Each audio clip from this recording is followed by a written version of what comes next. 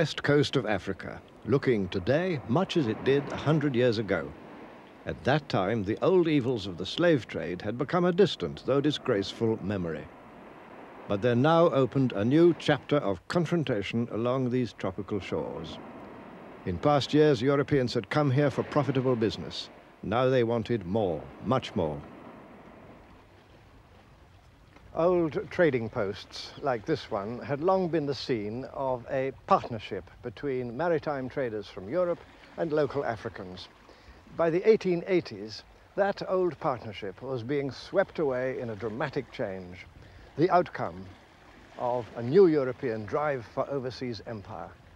Industrialized countries led by France and Britain had begun to invade the black continent, each hoping for new sources of raw materials for its factories, new markets for its manufacturers, and new positions of advantage against its rivals.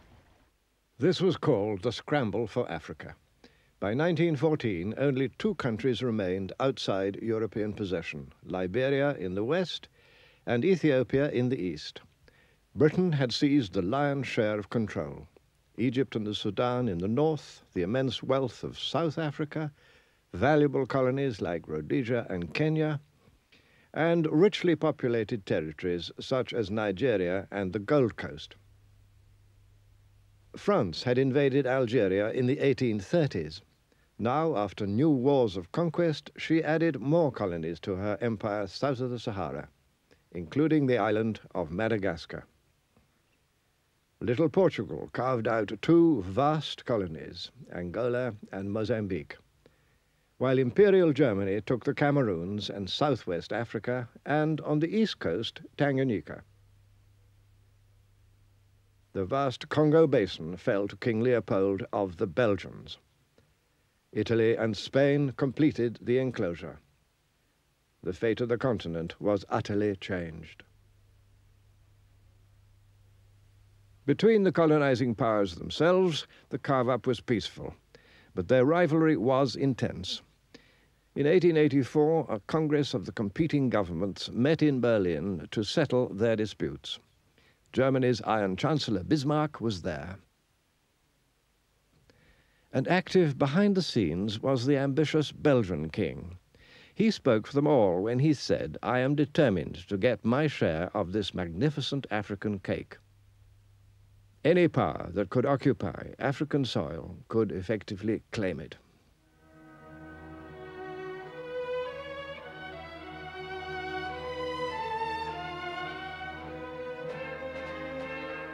Now the task was to stake out frontiers in utterly uncharted land. Said the French Prime Minister, we have embarked on a gigantic steeplechase into the unknown. The British Prime Minister Lord Salisbury was to say of this period, We've been engaged in drawing lines on maps where no man's foot has ever trod. We've been giving away mountains and rivers and lakes to each other, only hindered by the small impediment that we never knew exactly where we were.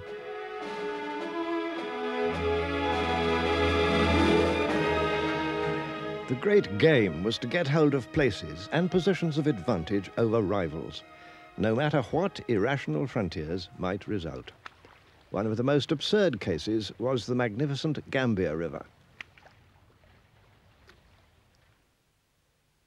Britain had long held Bathurst, Banjul today, and was determined to keep this river route to the interior.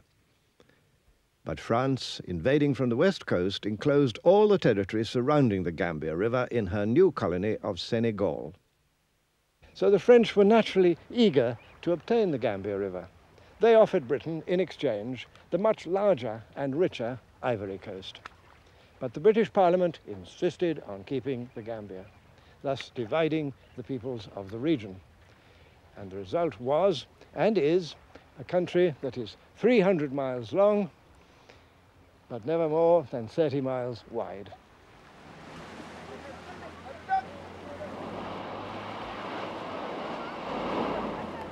What the African inhabitants might think of this colonial carve-up was never asked. The European idea, in the words of one British governor, was to seize African territory and then, as much as possible, rule the country as if there were no inhabitants. In fact, European contempt for Africans now reached new depths, and no wonder. For how otherwise than by asserting that Africans were helpless children, lazy savages, could Christian Europe justify taking their countries away from them?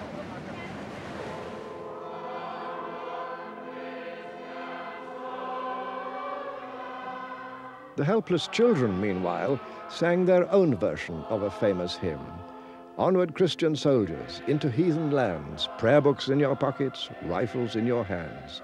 Take the happy tidings where trade can be done. Spread the peaceful gospel with the Gatling gun.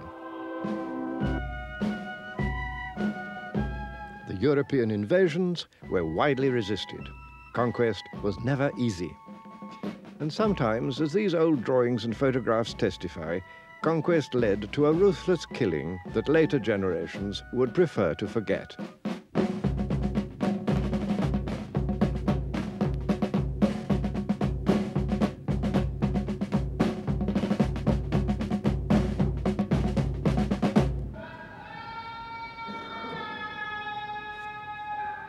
Resistance took many shapes. In French West Africa, a focal point was found in Muslim loyalties. Many heroes, still unforgotten, came on that scene. Some, like the Senegalese religious leader Ahmadou Bamba, offered the way of peace, but were still sent into exile. Others, like the fierce warrior leader Samori, fought off French attack after attack and was crushed and exiled only after years of war. Death took many, strong or weak. With the skulls of earlier wars displayed in their capital, Kumasi, the powerful Ashanti nation ruled over most of modern Ghana. Led by their kings, who had the title of Asantehene, they'd long defended their country against Britain. But now they desperately wanted a peaceful settlement. In 1895, fearing a disastrous war with Britain, King Prempeh made a strong bid for peace from his palace here at Kumasi. He offered the British the right to establish in Ashanti a chartered company with all the concessions, the privilege that such a company could possibly desire. But it wasn't enough, for the British now wanted territorial possession as well as privilege. The Ashanti nation had already fought long, hard battles against the British. But this time, in 1896, they decided to surrender.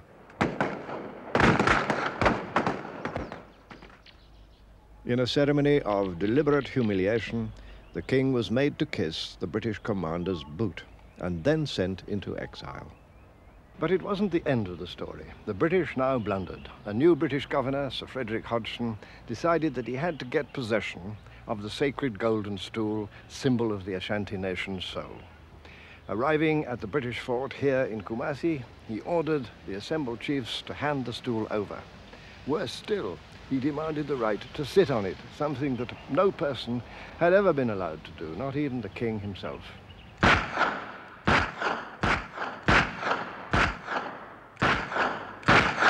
To Hodgson's final insult, the Ashanti replied with war.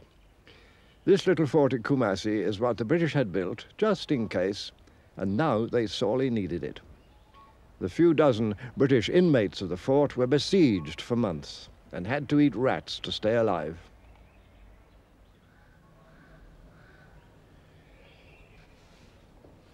Hodgson's act of folly had exacted a bitter price. Efforts to send in relief from the coast were repeatedly frustrated by Ashanti resistance.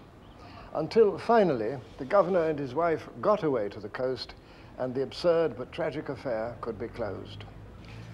This ended war between Britain and Ashanti, and a year later, in 1901, the British quietly annexed the country, which became part of the colony of the Gold Coast. All over Africa, the new military technology of automatic guns gave easy victories to the invaders.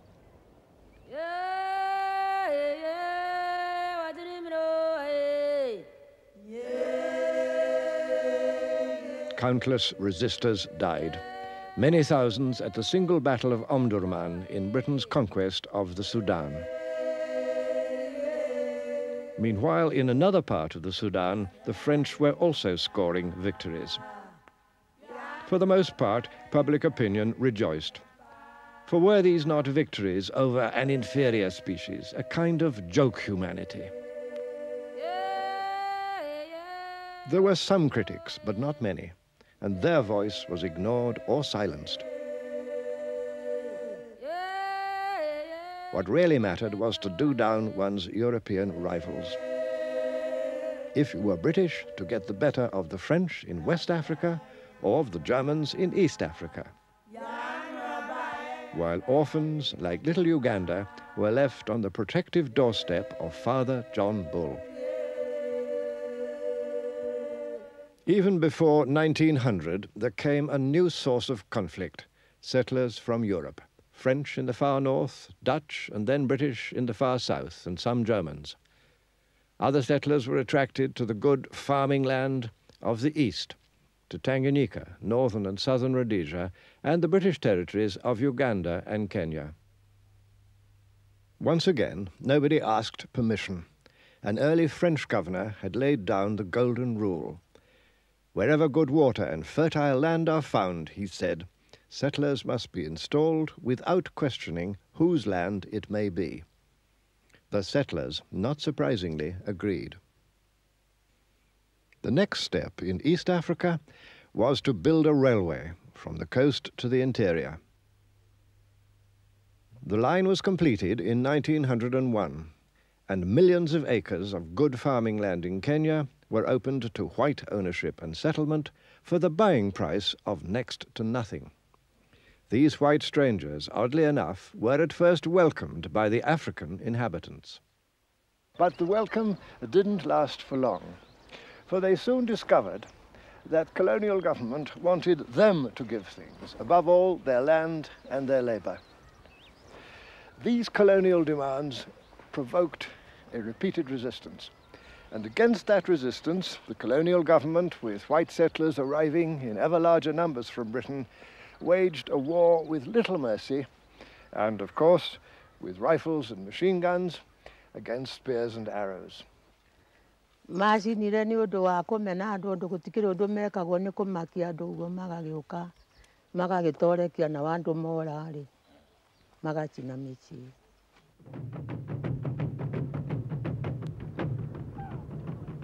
This beating down of a sometimes violent and desperate African protest was called pacification, or less politely, hammering.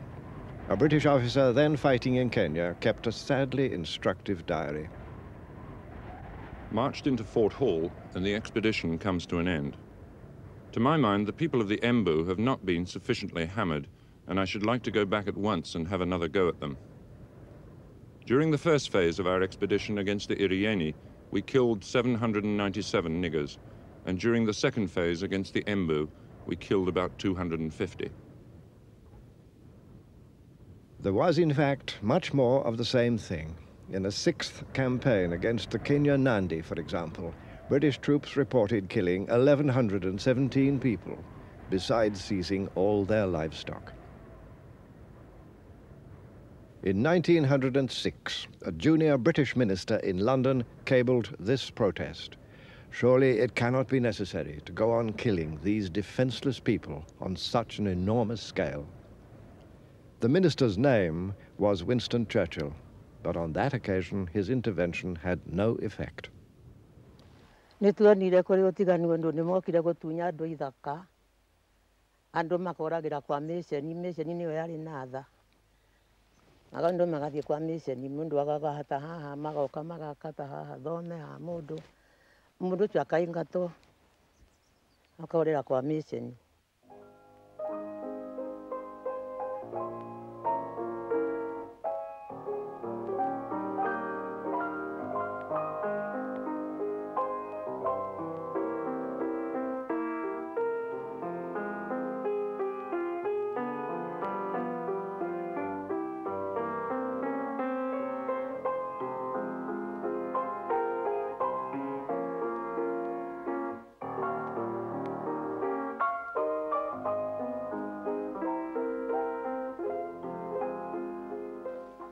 Na makairi arĩa marĩ kuo makaingatwo makorĩra kwa mĩceni By 1915, about 4 million acres of African farming land in central Kenya had been given to about 1,000 British settlers. By the 1920s, about half of the able-bodied men of Kenya's two largest farming peoples, the Kikuyu and the Luo, were working as laborers for British newcomers. How was that done? The answer, once again, was something new in Kenya, taxation. To cultivate these splendid acres, it was necessary to make Africans pay taxes in cash. Having no money economy of their own, Africans could pay tax in cash only if they went to work for a European wage. An old Maasai recalls those early days. Sasa wazungu walipokaa sasa, sasa walianza kutawala. Walipotawala, kitu walitaka, walitaka kodi. Masai zamani hapana lipa kodi ya, ya kichwa kama ile tunaita zamani poll tax, ilikuwa la, tulikuwa nalipa na nyumba, walikuwa naitwa uh, nini uh, kodi ya nyumba. The Maasai proved particularly good at dodging the payment of the new taxes. So the colonial government thought it should send some of these apparently idle warriors to school, so as to turn them, if possible, into tax collectors among their own people. Small boys were seized for this purpose. Na sasa serikali walitoa askari yake kuja kuchukua um, watoto. Sasa mimi ni moja ya wale watoto ambayo wali walishikwa kupelekwa skuli. Sasa nilishikwa nikapelekwa skuli, sasa pamoja na wale watoto wengine. On the other side of the continent, in northern Nigeria, the colonial scene was very different. With no white settlers, life was peaceful. Things continued much as before. The British had conquered this huge region, far from the sea, for no real reason other than to keep it from the French. So the British were content with a supervision which allowed them to take a back seat. Under the direction of Lord Lugard, this was called indirect rule. This was the residence of the British official who governed the northern Nigerian province of Kano. Indirect rule meant ruling through local kings, in this case the local emir, who after defeat accepted British overlordship. On condition that nothing was done to modernize or democratize the conquered system, indirect rule was cheap and highly effective. Local kings and princes kept the peace and law and order in their own interest, as well as in that of the British. Both sides at the top had much to gain. So kings, like this one, the Emir of Katsina, were able to stay in power and even add to their personal privileges. They were able to call on their own local retainers to govern the everyday affairs of the country. This way, the native governing class, as the doctrine said, was to remain a real living force, as well as being a curious and interesting pageantry. The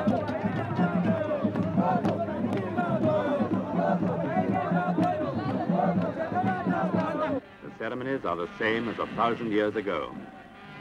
There were kings in northern Nigeria when Richard Lionheart set out on crusade. Today, he and all the emirs of northern Nigeria play their part as subjects of the King of England. But their subjects still show their loyalty as in the days when Katsina was warring with her neighbors.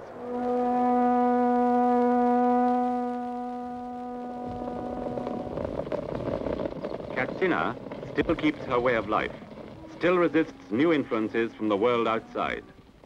In short, no modernization of any kind, and therefore big problems for the future. I talked to Nigerian professor Obaro Ikime. For the larger part of Nigeria, British rule did not mean anything for many years. In other words, uh, although at the centers of administration, there was a change which could be seen by the people and felt by the people. In the outlying areas, life went on as if the British did not exist. If you take Lugard's own particular area, the north, for example, the seat of the emir and the seats of the district heads may have felt the immediate impact of the British presence. But the villages were ordered and run just as before, with one important difference though, taxation, that the people had to pay tax to a new power. The British built up a core of Africans who became known as native administrators, um, developed some commitment to the system. Uh, the uh, salaries were comfortable. They had power, uh, which they used to enrich themselves at the expense of their followers and their subjects. Consequently, the British were able to succeed um, largely by developing a core of people who became partners with them. British officers, headed by a resident, are there in every emirate to advise and assist the emir and his ministers in their day-to-day work. And each month, the resident presides at a full meeting with the emir's council. There may be word from Nigeria's governor in Lagos, or from the colonial office in London, or the council may discuss the repatriation of pilgrims from Mecca. The dignity of the past, the traditions of Katsina, are present in the council chamber. Here, once more, this time behind polite words, was the essence of colonial paternalism.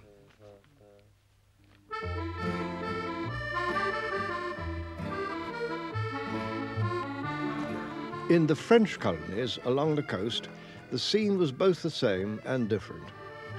Dakar, capital of Senegal, actually the little suburb of Rufisque, a charmingly nostalgic place. Senegal was France's oldest colony in tropical Africa, and one where the French presence, like that of the British in northern Nigeria, could easily be absorbed. Generally, the French ran their colonies on much the same system as the British. But there was one important difference. The British thought that their Africans could never become anything but Africans, and certainly not British. The French idea, on the contrary, was that in the end, at some distant time, all their Africans would become black Frenchmen. The culture and the language of France were offered as the eventual supreme blessings. This idea was called assimilation. Originally, this was a generous idea, but colonial rule reduced it to little or nothing. Yet in four municipalities of coastal Senegal, assimilation did take effect. This picturesque island of Gorée, just off the port of Dakar, was one. Here you could go to school and even become a French citizen. But you belonged to a tiny minority. By 1926, only 48,000 Senegalese had become assimilated out of a total of one and a half million. The Senegalese historian, Professor Sheikh Anta Diop, explains. C'est en fait certain, dans la pratique, ce n'était pas possible. Et dans la pratique, il y a eu quatre communes. Ici au Sénégal et partout ailleurs, pratiquement, c'était le système de l'indigénat. Donc, à cause du rapport numérique, la politique d'assimilation n'était pas applicable sur le terrain. One man from Gorée Island who did make it and carved out for himself a brilliant career was Blaise Diagne. Of humble origins, Diagne became the first black man to be elected to the French National Parliament in Paris. He campaigned for black rights and began to win concessions. That was in 1914. During the First World War, an embattled France called for tens of thousands of African troops as Flanders swallowed its victims. Blaise Diagne agreed to be France's recruiting sergeant,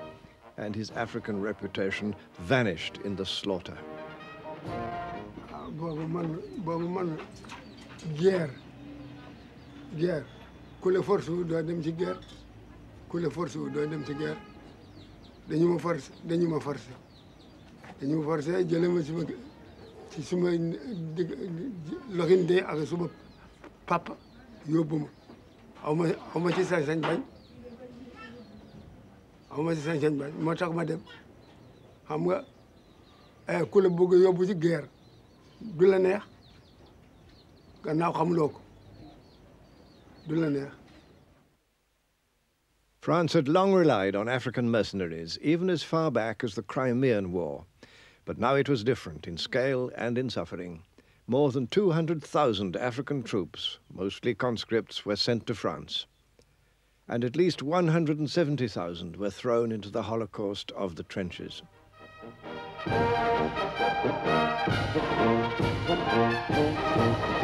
Thousands never came home. Others returned with an experience that survivors have still not forgotten.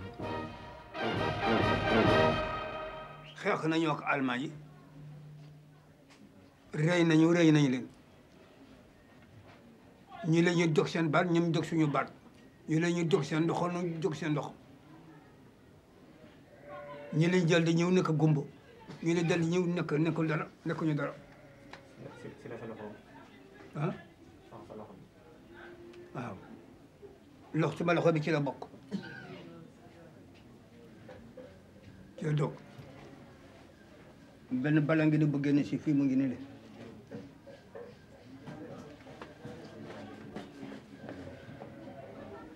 Bal mu ngi bi mu ngi dal fii génn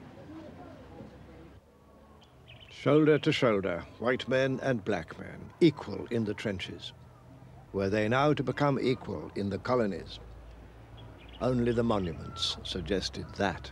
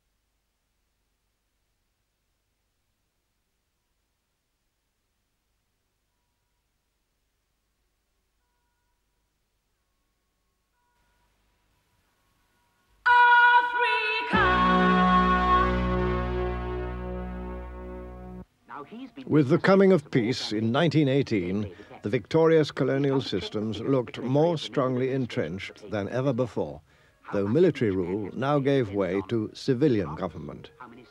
This led to a far more thorough system of tax collection to pay for the government. The linchpin of the British system was the district officer. That's where I come in. I'm the district officer in this particular area.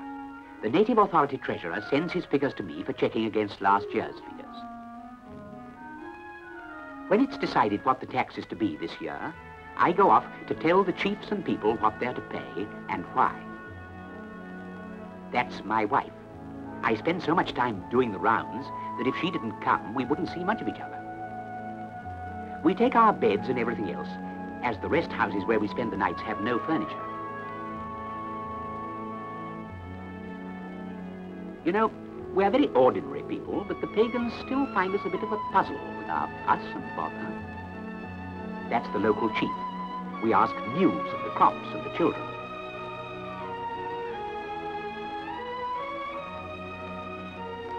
It's like sitting in a shop window. We come here every year and follow the same ritual, but they always behave as though it was the first time.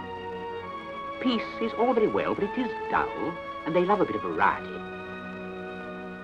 Many colonial officials were good, practical, hard-working people devoted to their ideals. They were sure that the strong paternal arm of colonial rule must be a blessing for Africans and would have to be continued for centuries. They firmly believed that if left to themselves, Africans would simply go on living as before, and that, they thought, would be a thoroughly bad thing. An old film tells the story as the colonial officials saw it.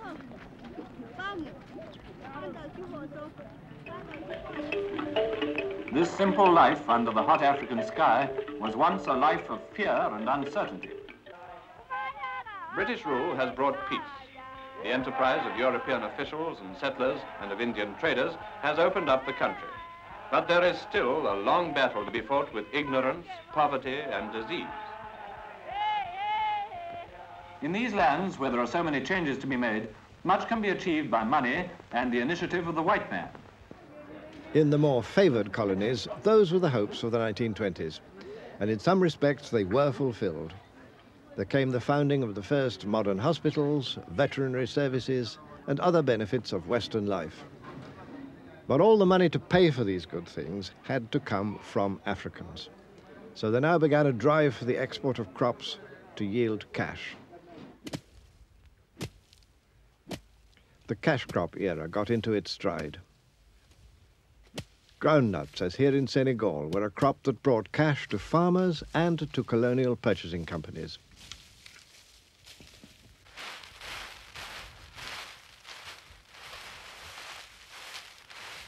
But the cash crop's success also brought problems.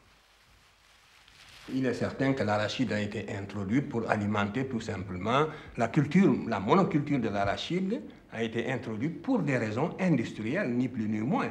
Hein, c'est en 1848, je crois, que des Marseillais l'ont introduite ici euh, pour fabriquer tout simplement de l'huile pour euh, vendre ça sur le marché international. Et on a spécialisé finalement, euh, la tendance est née de spécialiser chaque colonie en fonction de ce qu'elle pouvait produire le mieux. Et on a donc toutes les, les zones sahéliennes ont été spécialisées pour la culture de l'arachide, des, zones comme la Guinée pour la culture de la banane et le riz, et ainsi de suite. Mais, mais ça, c'était en fonction, non pas des intérêts euh, locaux des, des, indigènes, de ceux qui habitaient ces terres-là, mais en fonction des besoins en matières premières des usines qui tournaient à Marseille, à Bordeaux et en Europe d'une façon générale. So long as their crops were bought, African growers could be reasonably content. But in 1929, there began the huge and long disaster of the World Depression, and prices collapsed. Food production for local people, already badly hit because of land taken for cash crops, became a subject of major crisis. What was true of the French Empire was just as true of all the others. Here in the Gold Coast, the big cash crop was cocoa, providing the bulk of the colony's exports. The crop was grown and harvested entirely by African farmers who had to sell it to British and other foreign buying companies. These companies banded together so as to pay the farmers an artificially low price. The farmers of Ghana, then the Gold Coast, nonetheless worked so well that they became the world's biggest producers of cocoa and so of chocolate, which Africans didn't eat. But the gains were far from equally shared. The Ghanaian historian, Professor Adu Boahen. There's no doubt at all that the farmers were being cheated. The prices that were being paid for the cocoa bore no relationship to the prices that they had to pay for the imported goods. We had no say in the pricing of our own commodities. We had no say in what we paid for what was imported. This was, in fact, one of the greatest indictments against the colonial economic policies. The fact that so much emphasis was placed on a single cash crop. And we had to import rice, we had to import oil, palm uh, oil, and so on, you know, to feed ourselves because so much emphasis and so much attention was paid to this single cash crop cocoa the colonial governments were just concerned with obtaining raw materials to feed their factories abroad. The raw materials were produced by the skill and enterprise of hard-working African men and women.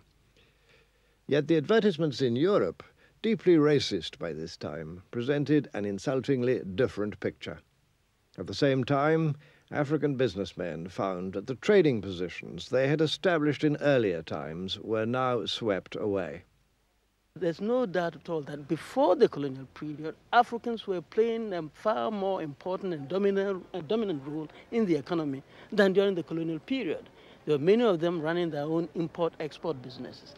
In the 1920s and 1930s, all these African merchant princes virtually disappeared from the field because the dice was so much loaded against them as a result of the colonial system. The banks were discriminating against them in the granting of loans. The, the expatriate firms, and particularly the Syrian Lebanese firms, were undercutting them, and they just could not stand the challenge. And therefore, many of them simply ran out of business. And the children of these great merchant princes now became the employees of the great African uh, uh, capitalist companies like UAC, UTC, SUA, and so on. Colonial trading companies, British, French, Belgian, Portuguese, monopolized wholesale business with the full backing of their colonial governments. What King Leopold had called this magnificent African cake was beginning to yield its riches. Often those were painful days, but they have to be recalled by anyone who wishes to understand the problems of Africa now. The turmoil of today in the Congo or Zaire has its roots in the infamous Congo Free State of King Leopold.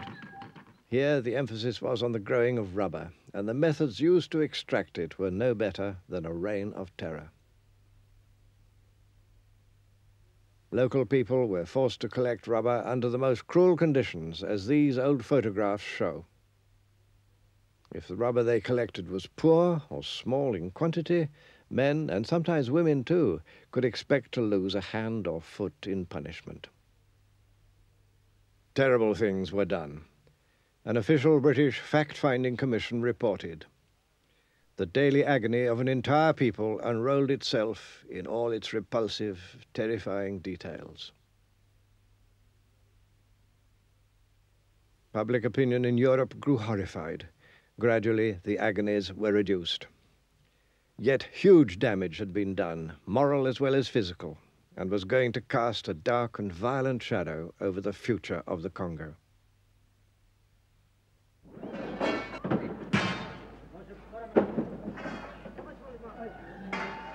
Forced labor by the 1920s was practiced on a wide scale in most of the colonies.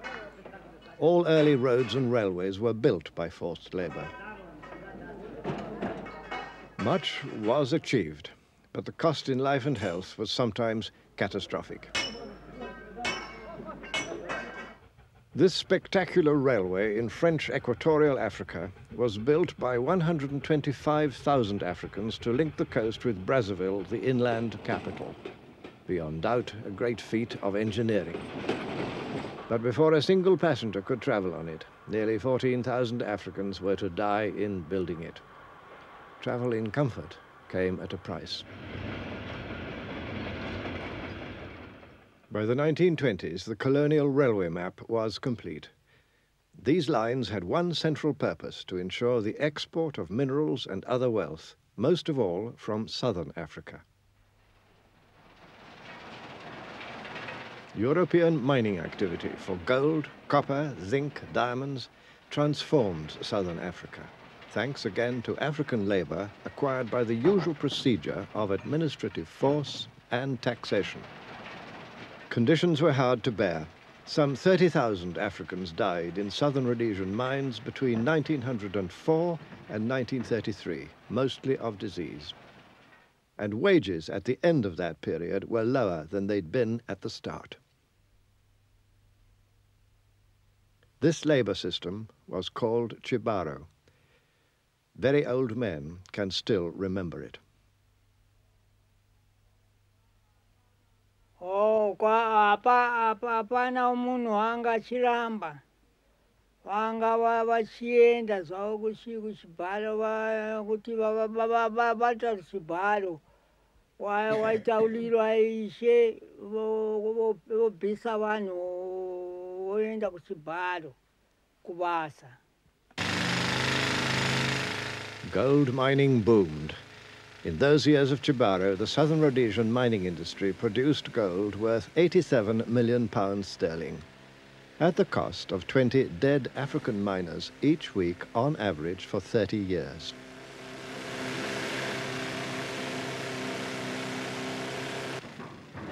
Just as in the bigger mines of South Africa, living conditions for miners were appalling. Safety provisions were primitive. Discipline was often brutal.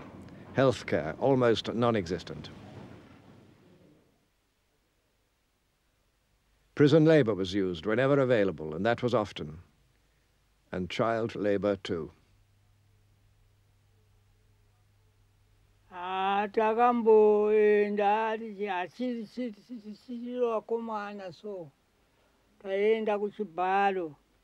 Kwanzi kunodikanwa vanhu kubasa After 1930, the whole labour system in large regions had come to depend on people having to abandon their villages and go far away to work in colonial mines or on plantations. This was called migrant labour, a huge upheaval which soon began to destroy the old stabilities of rural Africa. An official British committee in 1935 reported that the old order of society was being completely undermined by migrant labour. The years ahead were going to confirm it.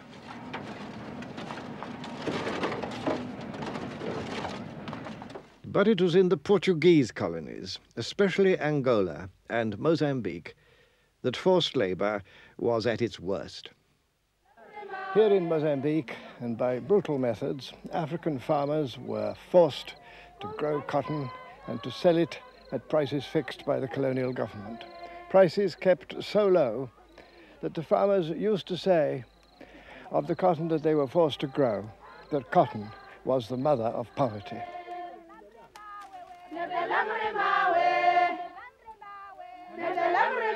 The raw cotton was sent to textile factories in Portugal and returned in the form of shirts for Africans to buy. All the profits were Portuguese. The more the farmers learned to hate cotton, the more they were forced to grow it on pain of severe punishment.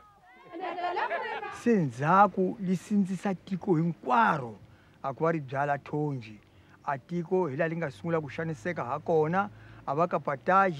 a va famba emitini ni masin'wini loko bile dina va khumuka a va landziwa va ya tekiwa va biwa hi tintshilani va ya masin'wini na va nga dlanga hi xitadori va ta ni khoma se ni ya jele a ku wena wena xitadori wa ku ni byetelaka vanhu a va ha ri makhwati thonji na hi ku ba se ni yala se ni kangateliwa ni ba xipakani va ba xipakani xa unharhu ni ku swa ringana se va jele fifteen days jail.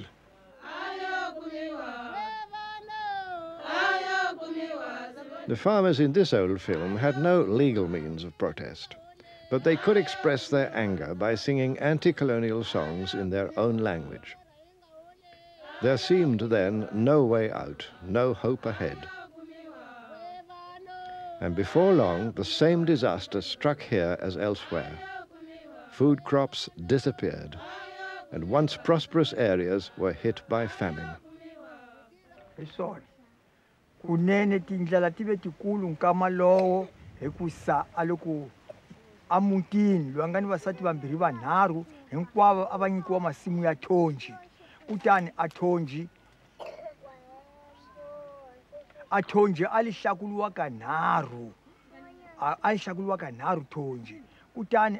na nkama wa masimu.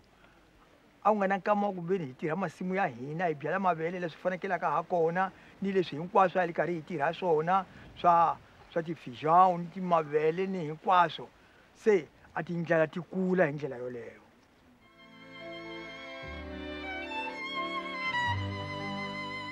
In spite of African suffering, settlers arrived in growing numbers. Some were political exiles from the Portuguese dictatorship. Many were poor people hoping for a better life. Sent out to be farmers, most preferred the easier life of the towns. They opened shops and businesses and aimed at the success which had eluded them at home. This actually suited the official colonial doctrine. the Portuguese dictator Marcelo Caetano laid it down in plain words. The blacks are to be organized and enclosed, he said, in an economy directed by whites.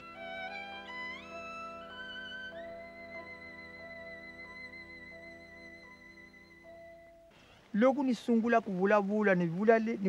te ni wakwe a governo wa maputukezi i leyi nga twala misaveni hinkwayo hi vunene bya yona kambe n'wina wa maputukezi afrika a nga ta va kona. Hikusa a mu landzanga a leswi mu nga tela swona afrika.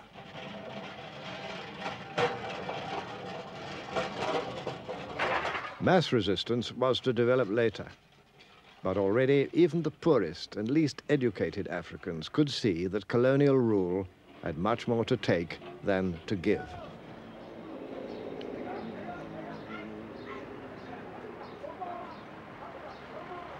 Whatever good may have come from colonial rule has to be measured, unfortunately, against the essential aims of each of the colonial systems. These aims were frankly stated.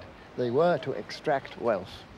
We've looked at some of the ways in which wealth was extracted by the use of forced or cheap labor, by the seizure of land, by the incessant pressure on growing crops for export rather than crops for local food needs, and always by the deliberate treatment of Africans as inferior beings.